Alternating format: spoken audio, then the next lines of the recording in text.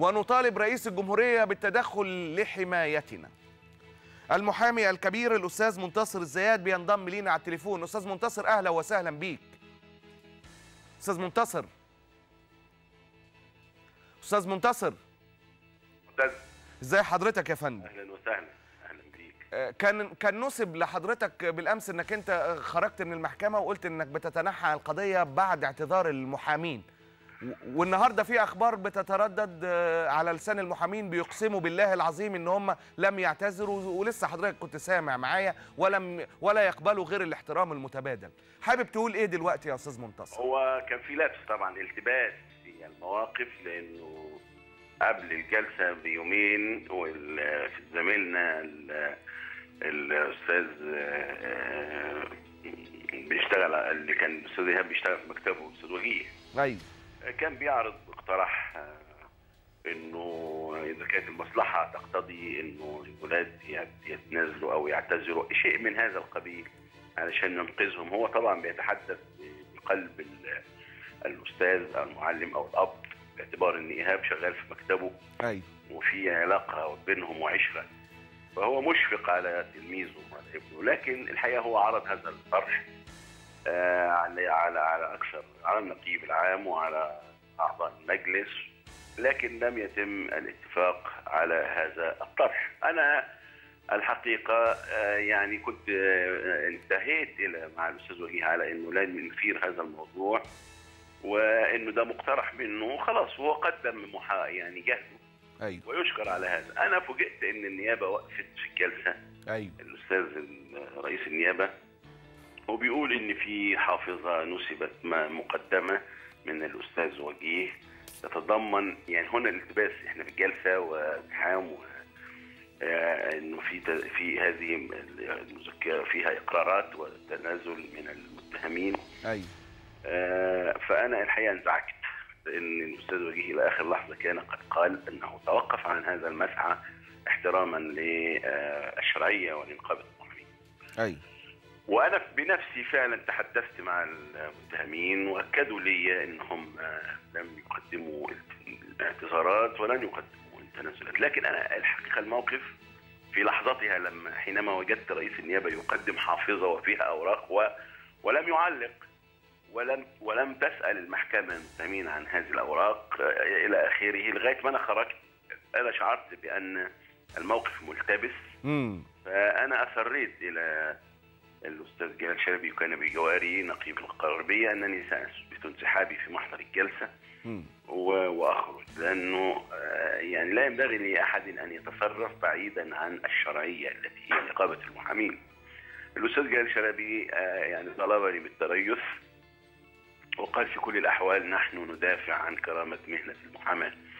آه، استشرت بعض زملائي بجواري أيضا من أعضاء المجلس، المهم خلصنا إلى يعني أنا لم أستطع ان أن أستمر بالجلسه وقلت لهم سأنسحب من هذه الجلسة إلى أن نتباحث آه، لاحقا في الموقف. بعدما خرجت علمت أن ال- الأوراق التي قدمت كانت مذكرة من زميلنا الأستاذ وجيه آه، هو بنفسه بتوقيعه وليست بتوقيع ال- المتهمين أيوه وقال أن المتهمان آه، يعني يعرضان ولا مانع لديهما من التنازل ولا مانع لديهما من آه، الاعتذار للنيابة رغم أنهم ظلموا ورغم أنهم تعرضوا إلى اعتداءات. فده موقف شخصي من الأستاذ وجيه. والمحامين ما ما, ما لهمش بيه. لكن تأكد أن المحامين أن المحاميين آه، ما لهمش دعوة لم يقدموا أي تنازلات ولم يقدموا أي اعتذارات وبالتالي أنا مستمر مع هيئه الدفاع وأنا موقفي معلن انه رغم أي اختلاف مع مجلس النقابة أو مع الأستاذ النقيب الأستاذ حمدي خليفة لكن في النهاية هو مجلس منتخب وهو له شرعية يجب أن تحترم ولا ينبغي لأحد أن يتخذ موقفا مغايرا فيما يخص نقابة المحامين بعيدا عن نقيب المحامين. طب أستاذ منتصر عايز حضرتك تشاركني ال- المشهد كده من الخارج تخرج من الإطار المحامين وتشارك كمصري و... والمشهد تبص عليه من بره هتكتشف إنه مشهد مؤلم جدا وإن الحكاية صعبة جدا وإن في ظل واضح جدا إن القضاء الجالس مصر تماما على موقفه واضح إن حضراتكم مصرين على موقفه وتبقى ال- البلد والمشهد والعدالة ثوب العدالة بيدفع الثمن بشكل كبير جدا. الاستياء مش مش حاسس باستياء كبير؟ والله جدا يا معتز هو كلامك لحد إلى حد كبير كلام متناغم مع مع ما يعتري الشارع مع رجل الشارع مع المواطن معانا كمواطنين.